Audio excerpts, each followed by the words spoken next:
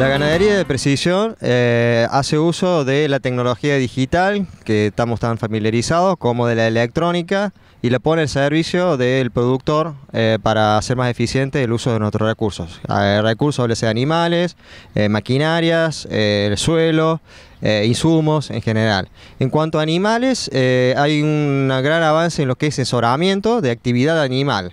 La, actividad animal eh, básicamente lo que mide es la alimentación del animal y hay ciertos comportamientos que nos permiten en base a ellos sacar conclusiones de qué está pasando por tal proceso cotidiano digamos, del animal. Llámese, por ejemplo, celo.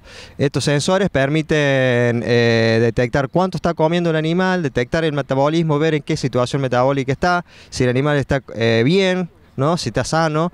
Esto se hace mediante collares con micrófonos y diferentes sensores que miden la cantidad de, de alimento que entra, que mastica y hasta en algunas situaciones se puede llegar a, a ver qué especie está comiendo y a qué altura.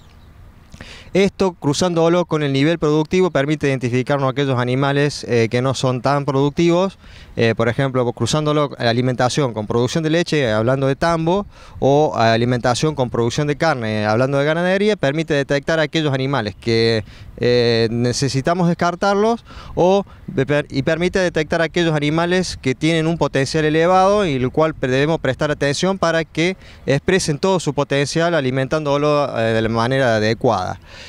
Esto obedece a que no todos los animales son iguales, todos son eh, distintos y tienen sus niveles, sus requerimientos diferentes, como toda persona inclusive.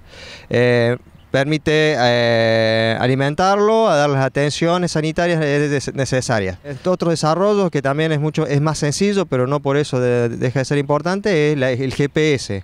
En la producción de carne eh, en extensivas eh, permite el control del animal, en qué situación, en qué lugares habitúa más para comer, cuántas veces va a comer, cuántas veces va a tomar agua y de esa manera sacar conclusiones y patrones de comportamiento que nos permite nos sirven como plataforma para la toma de decisiones y bueno, evaluar eh, qué mejoras hacer en consecuencia.